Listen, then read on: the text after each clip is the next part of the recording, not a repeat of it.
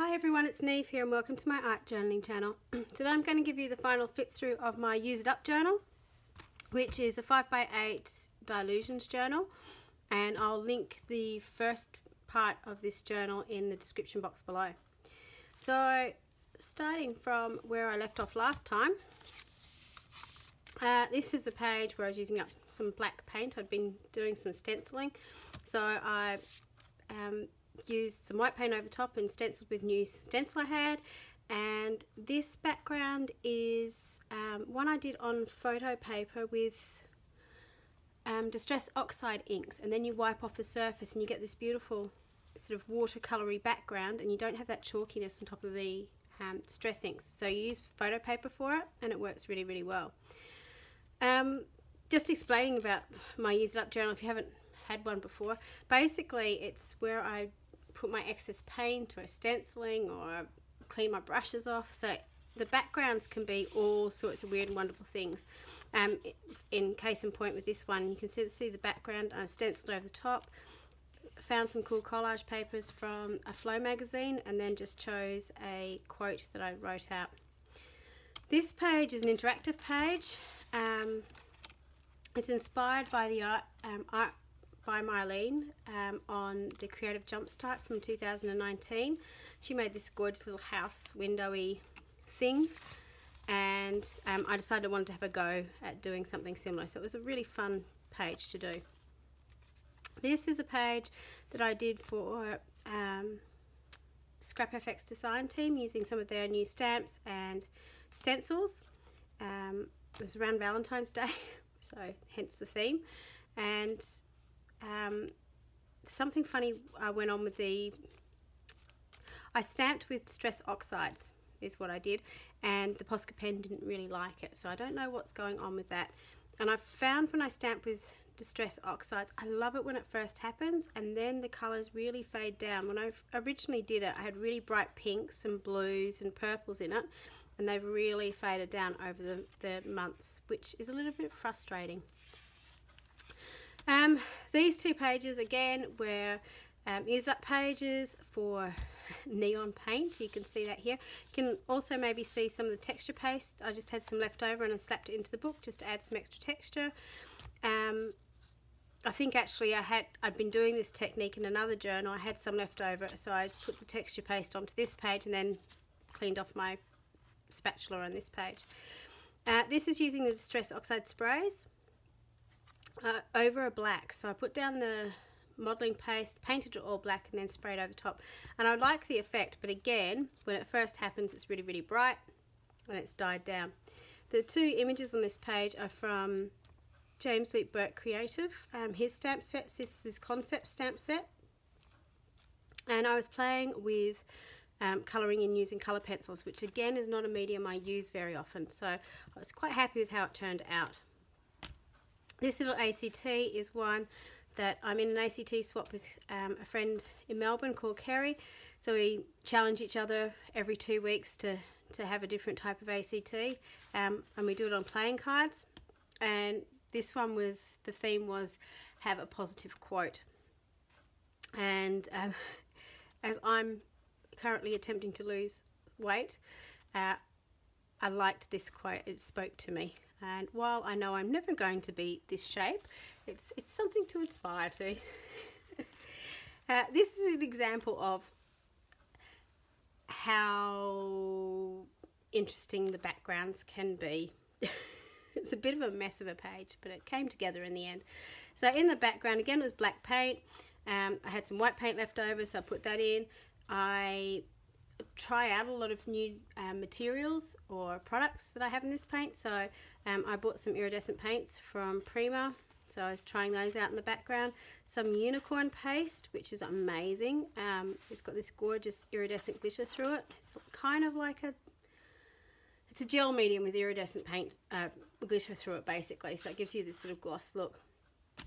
This is about the time I also got the Dina Wakley Collage Collective. So any little offcuts um, or bits that I liked, I'd sort of stick over here. This one of the pieces out of that and some of the heights as well.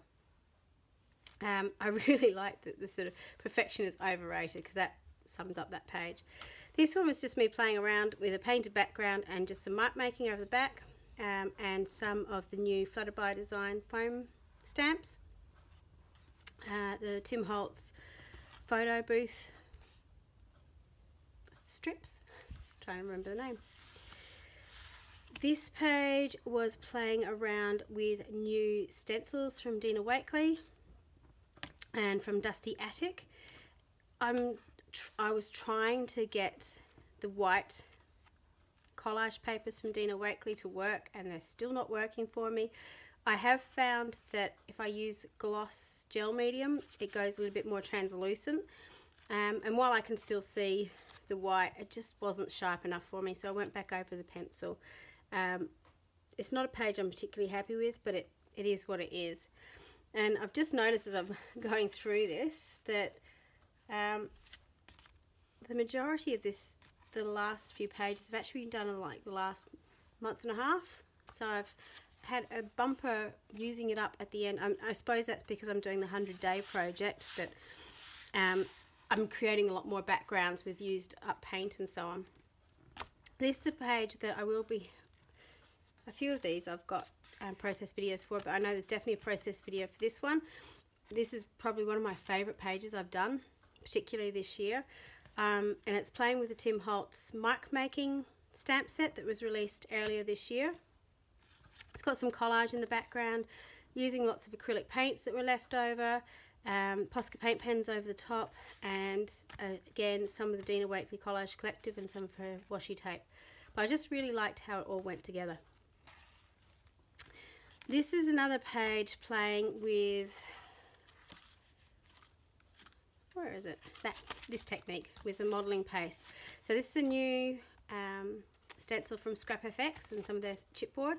And again, put it through, this is a crackle texture paste and using the Distress Oxide sprays. And again, when I did it, beautiful bright colours and they've just really, really dulled down. Down here and just up through here, I tried to put some mermaid marker over the top to brighten it up and it's just sort of all soaked in. So it is a technique. I'm, I'm still not 100% sure I like it or the effect, um, but it, it's a good practice and it's something I can refer back to if it's I want to do something like this in the future. This page again is using the Dina Wakley Collage Collective. Um, there's page that's got lots of circles on it I'm getting my scribble on with my Stabilo oil pencil. Um, in the next few pages, I think I've been using a lot of the um, liquid acrylics, which is this product. And it just gives a really beautiful translucent glaze over the, the top of normal acrylics and over collage mediums. So you can sort of see how it's going together. I chose to do the background in this page. I had stuff on this page already, which is usually there's usually brush marks and stuff in the background so it's not a blank page um, I think down here you can sort of see some of those brush marks so I usually um, go through and apply some collage and then put some paints over the top trying to tie it all together so in this page on Instagram I'd seen some people using magenta and a turquoise color with a little bit of the cheddar color mixed in together. And I really loved the effect, so I wanted to try it out, the color combination, see if I could get it to work. And again, that's what this journal is really great for because there's no rules in it. If it sucks, that's fine. You've had a go. Um, but you can get some beautiful pages as well. Um, this page was using up, I'd been doing some Dylusions paints in the background for um, an art journaling class that I'm teaching um, to do the background of the notes. So I had excess paint left on my sponges, which I cleaned off into this page and sponged over the top and I had these printables from um, Inky Quill which I'm never really going to use anywhere else but it sort of went with the background, the arty one um, background from Darkroom Doors so I thought why not put it all together. This one's really, really quirky, but I quite like it. I love this quote, put your positive pants on. And that comes from the Art by Marlene uh, sticker, whimsical sticker set and this is the alphabet from there too her stamp in the background and this cute little paper doll came from one of those flow paper magazines and I absolutely loved it but I don't really have anywhere else to put it. But then I saw this quote and I thought it just went perfectly together. I was going to put a quote of, you know, the postman always knocks twice or rings twice until I actually, because I've never watched the movie, looked up the uh, synopsis of it and didn't really have the same connotations as I thought it did. So I don't know if that says anything about me or the movie, but um, I thought this worked better.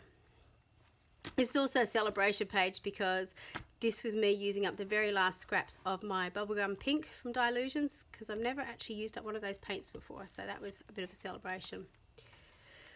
This page was again a mess of stuff in the background and I collaged over the top of it. Um, the collage pieces you can see in the background are actually from um, an art journaling class I taught over 10 years ago up in Canberra um, to the ACT stampers and shout out if any of them are actually watching. I had an absolute ball. It was a three day sort of weekend retreat and the pieces here was me showing them. We had to do like an introduction page and I found them the other day and I thought, oh, I have to include that into my normal art journal. So I tore them all up in the background and collaged over the top, put some gold foil in because I love that technique, and then did some of the reductive painting using the Dina Wakley Speak the Truth stamp set. This page I adore. Um, well, there was a page it's, it's a tie-up between these two pages, but I actually really, really love this page. Um, this again is collaged over the top, um, scraps from my Dina Wakley Collage Collective, using those um, liquid acrylics, and you can see you just get this beautiful glaze. It's brilliant for ghosting because you get really clear colours in the background, more so than if I use the heavy-bodied acrylic paints. And this gorgeous fellow is from um, an old art journal calendar from 2004 from Somerset Studio, which I have had sitting on my shelf for, well, you can tell how long I've had sitting on my shelf. And it was just a piece of eye candy. I never actually wrote in it. And I just thought, nah, it's time to actually start using it. So he was he was the first victim, but I just love how this came together. And the quote is from Alice in Wonderland. This is my dream. I'll decide where I will go from here and I thought it kind of looked with his, his angry little face that it's sort of all tied together. This page was inspired by Ink, uh, Mixed Media Jen, I think, who was inspired by Michelle Logan. So it's a, a, a double inspired page. Um, Mixed Media Jen on YouTube does have a, a process, a short process video for an iCAD page that she did um, with a similar technique. And Michelle Logan on her Instagram page has a picture of a moon face where she sort of blacked out the background. I just really liked how it came together.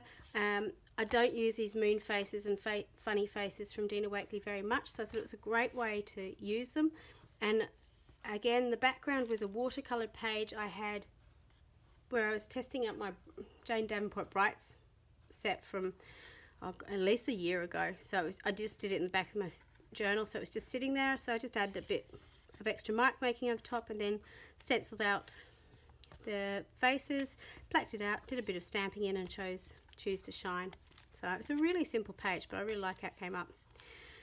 This is my final page and I've started, I've never used to do the, the last page and I certainly never gone onto this side of the page but I really like it and it's kind of become bit of a tradition in my journals to actually do the last page just completely washi tape. And one of the reasons is it's a really simple technique. Two, it uses up lots of my washi tape because I like the washi tapes but I never use them. But the third reason, and particularly for this journal, is by actually running the washi tape the full way across the page, it actually just gives an extra strength to the, the binding because you can actually see how chunky that journal is. So that just sort of strengthens, strengthens that binding up a little bit. So I know that hopefully that's a little bit more secure in there. The chipboard piece I thought I loved. Don't believe everything you think because I need that reminder from now, now and again. And this is another cutout from that um, Somerset Studio um, diary that I had. So that's the end of my journal. Um, if you watched the first video, I would have explained about the cover. These are all printables from Little Raven Ink which I just um, covered my journal with, which I love because I love her style. I love her mark making, and I print everything on sticker paper, so it was really quick to do. And the final little piece is this. Um, while I was doing this, my 19 month old daughter was watching me do it and she was getting really annoyed that she wasn't able to do it. So I turned over here and gave her out some pieces of tape and she decorated my front page for me. So that's a bit precious. Um, that's decorated by her in my journal. So that is the end of this journal. If you want to see the beginning parts of this journal, um, tune in to the link that's in the description box. And until next time, uh, bye for now.